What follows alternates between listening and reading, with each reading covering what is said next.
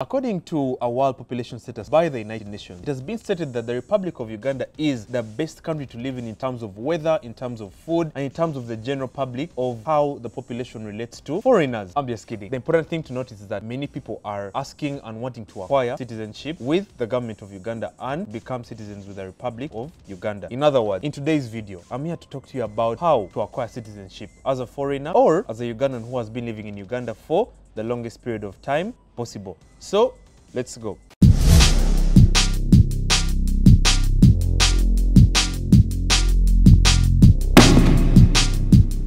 Welcome back to Simply Legal. Wow, a lot has been happening all over the globe and in Uganda specific. However, that will be a whole different video that I'm going to do covering everything that has been happening in 2023 so far. However, in today's video, I'm here to discuss with you how to acquire citizenship as a foreigner or as a Ugandan who may not really be a certified citizen. In Uganda, we have different types of citizenship provided for by the Constitution of the Republic of Uganda. In specific, we have four types of citizenship in Uganda. We have citizenship by birth, we have citizenship by naturalization, we have citizenship by registration, and we also have dual citizenship. Therefore, you may be asking what are the laws and provisions that handle citizenship in Uganda under the constitution. We have articles 10, 11, 12, 13, and 15. I'm going to explain all of them simultaneously, and I'm also going to give you the most important ways in how you can become a citizen in Uganda. But before that, before we even go to that, a quick shout out to the people who have dressed us once again, and that's by Abby Tie Steel. Abby has provided me with this very exquisite suspender or pair of suspenders, and uh, if you need any any place to shop. Gentlemen and even ladies who want to shop for their gentlemen, for their sons, for their fathers, whatever it is, please go to Abbey Ties and you're able to get the best suspenders, the best ties, and uh, anything else that you'd want to shop concerning men's wear, for formal wear, for party wear, and the rest. Now, for purposes of this video and for how huge the topic of immigration and citizenship is, I'm going to explain to you, number one, how to get citizenship by birth and what you need for that, and also number two, how to get citizenship by registration. So therefore, let's start with what citizenship by birth is. Article 11 of the Constitution of the Republic of Uganda provides for citizenship by birth and who a citizen by birth is, and it works in tandem, it, meaning it works in connection with Section 12 of the Uganda Immigration and Control Act of Uganda. So basically these two these two sections and article of the law basically state that a person who is born in Uganda, even a person who is born in the airspace of Uganda, imagine if a person is flying over Uganda and that person is born on the plane, that person becomes a Ugandan citizen because they were born in Ugandan airspace. So number one, anyone who you see born in Mulago Hospital, Rubaga, regardless, even if it's a home birth, someone who is born on Ugandan soil is regarded a Ugandan citizen. Just like any other country, just like the United States, if you're born there, if you're born on a plane and you're transversing around, let's say Oregon or Michigan or in the UK or in China, even if you're a Ugandan by origin, then you are still considered a Chinese citizen if you're born on Chinese soil. That's citizenship by birth. So it's a bit more complicated than that. There are a number of scenarios. Number one, you could have been a citizen by origin, meaning even if you are born in the United States, let's say you're born in a, in a United States hospital and your grandparents or your parents are Ugandans by origin, you can still apply for citizenship by birth or another category can be for uh, citizenship through registration. So I hope you can be able to get the picture. The fact that your grandparents were, let's say, Ugandans and and let's say for you are fortunate enough to have been born in another country still, you're considered a, a, a citizen by birth. However, the strongest way you can be a citizen by birth is when you're actually born here. So what is the procedure for when you can become a citizen by birth. Because still even even if you're you're born here still there are certain scenarios under which you can be citizen by birth. For example you can be an adopted child. We it's no secret that there are many different uh, children and babies homes. For example the most renowned is Sanyu babies home. So let's say uh, a foreign couple wants to adopt a child and that child was was not really a, a, a person or a citizen by birth. Then still that that child who is under the age of 18 can still apply for citizenship of Uganda by birth. So the only the only procedure under which that can take place is that after you've done the adoption process, for those of you who might not, for those of you who might want to be, or for those of you who might want to adopt a child who is below the age of 18. By the way, before we even go further, who is a child? Just a small digress. A, a child is a person who is below the age of 18. Now this is stipulated under section 3 of the Children's Amendment Act and also in the Constitution of the Republic of Uganda. A child is someone someone who is below the age of 18. So imagine if you are a couple from Sweden or you- you're a couple from the United States or China or Denmark and you want to adopt a child from Uganda. If you dig into that child's papers and you find that that child was not a Ugandan or was not born in Uganda or is not a Ugandan by origin, but for some reason they found themselves here in Uganda and you still want them to be a Ugandan citizen, you can still apply to, to, to the Children's Court, the High Court Children's Division, and then you can basically apply for them to be a, a citizen by birth. And you can do this by also appearing in the courts of law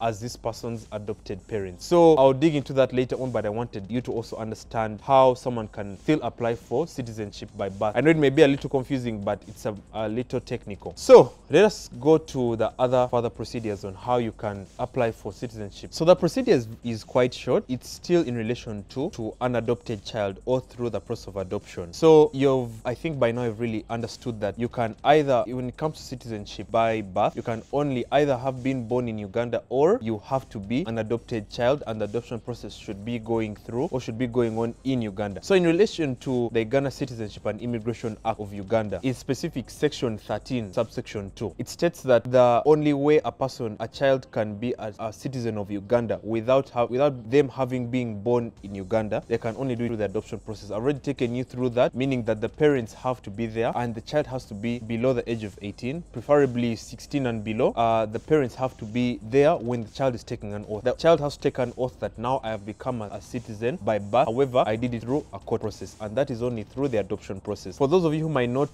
know what the adoption process is in uganda i talked about did an earlier video about it. So i'm going to leave the link in the description below on how to adopt a child in uganda. So let us now go to citizenship through registration or by registration. Let's go. So what is citizenship through registration like any other constitution or any other country all over the world, every country grants each new citizen or each new migrant into that country a chance to become a citizen through registration. But before we even go to that, we need to understand what registration is and which people are categorized or which people are able to be able to sign up for citizenship under registration. So let's start with what registration is. Imagine if you are a person from China or you're from England or you're from Sweden or Spain. I know I keep mentioning the same countries over and over again, but it's because since I was a child, I've always loved those countries. However, a person who has just come into the country and you're interested in becoming a citizen through registration, that is actually the most common way in which foreigners become uh, citizens in Uganda. So you can be able to go to immigration offices, can be able to, and immigration offices are under Ministry of Internal Affairs. Internal Affairs in Uganda means that anything that concerns our country internally. So you go to immigration offices and there, that will be a whole different process entirely. However, registration is the most important thing that you can do as a foreigner if you're not a natural born citizen in Uganda. Then there you can apply for citizenship and that's an entire process that I'm going to explain in the video later on. So which people can be able to apply for citizenship through registration? Remember, I have said number one is that you are not a naturally born citizen of Uganda, meaning you are not born on Ugandan soil. So, number one, a person who has married a Ugandan citizen, meaning that you can apply for citizenship through registration if assuming that, let's say I was a Ghanaian, let's say I'm from Ghana, and I come to Uganda, I fall in love with a very beautiful Ugandan girl, and I decide to marry her here in Uganda. Then I tell her, you know what, spend some time here in Uganda, about three or five years, why can't I become a citizen of Uganda? So she'll direct me to immigration officers, they'll take us through the entire process, and there I'll become a citizen through registration if it passes through. So that's number one. Number two, if I voluntarily, meaning if I willingly came on my own to Uganda and I decided to become a Ugandan citizen, meaning that that's voluntary migration, meaning that I've come to Uganda uh, on my own will without me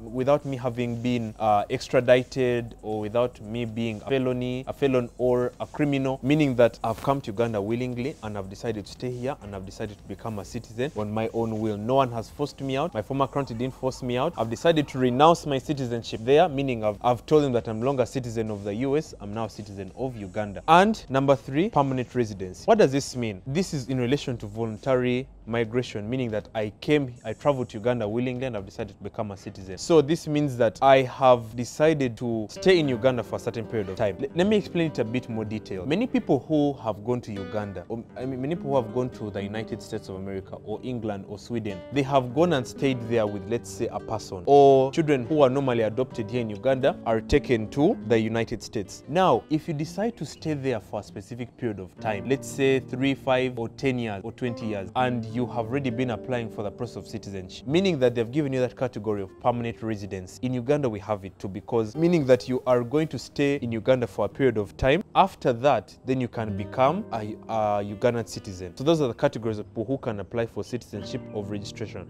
So if you don't if you don't fit in any of those categories, go back to your country. That was just a joke. In Uganda, we're very, very welcoming people. We're very friendly. So please come and apply for citizenship. We want diversity in our country. So let us now go to the procedure of how to apply for citizenship by registration and then we finalize this video. So the procedure for how one can become a citizen by registration. Number one, they must be able to fill out the forms which are stipulated and provided for under Ministry of Internal Affairs, in specific the immigration section. Number two, this person must be able to state how long that they have been in Uganda. For example, you can't just migrate to Uganda and then after like one year you want to apply for citizenship. You must have stayed in Uganda for a specific period of time, at least a period of about 5 to 20 years. You must have really embodied how much of a Ugandan you are, even if you're from China, you're from Spain, you're from Portugal. You must really show interest that I've not just been in your country for one year and I want to apply for citizenship.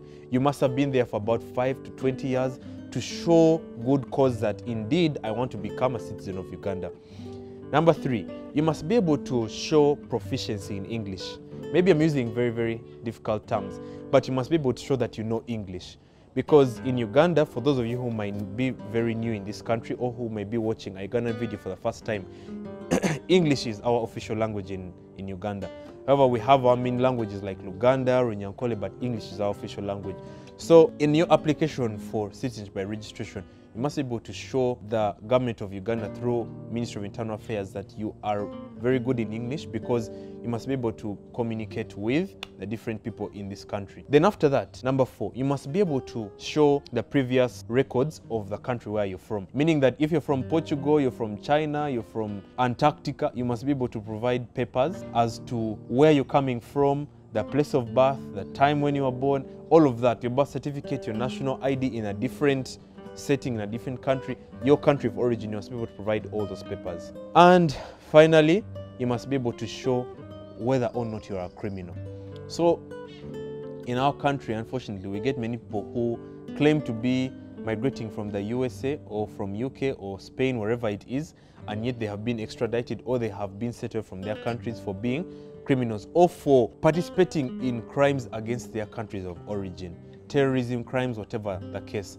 So you must be able to provide all those papers when you're asking Uganda to grant you citizenship through registration. I would like to give you the grounds upon which your citizenship by registration can be cancelled. Number one, if, it, if the government of Uganda finds that you have participated in crimes against Uganda or you have participated voluntarily in a country by, by which Uganda is fighting against. For example, if it's found that you are fighting with the Somali government and yet Uganda has been fighting uh, the Somali government for a while. Okay, I can't necessarily call it government, but if you if it's found that you're fighting with a Somali rebel group, and yet Uganda has participated in fighting against the Somalia, uh, Al Shabaab, Al Qaeda, and yet you have applied for citizenship by registration, the new citizenship by registration is going to be cancelled. Number two, if it is found that you acquired your citizenship through fraud, through deceit, meaning if you deceived uh, government of Uganda, especially in the process that taken you through. If it is found that you lied about why you're coming into Uganda, it is found that actually you're a criminal, and let's say you lied to the you lied to the Republic of Uganda that you're an innocent man, you're honest, you, you've just come for visiting,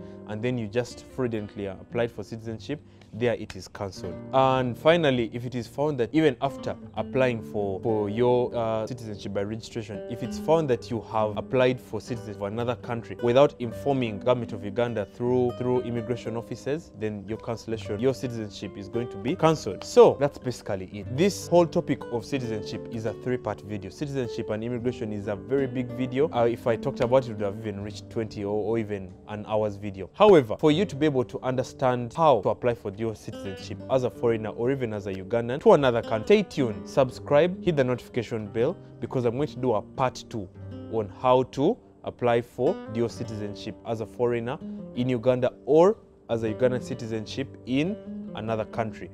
So, until next time, my name is truly Terry Kahuma. Please feel free to hit the subscribe button, hit the notification bell, and stay tuned onto the upcoming videos that I'm going to do. Furthermore, please feel free to share this video so that the YouTube algorithm is going to keep loving Simply Legal until we we reach greater height. Currently, the channel is almost on 4,000 subscribers, and the day just keeps getting better, and the year just keeps getting better. 2023 is coming with a blast, and until next time, I'll see you in court.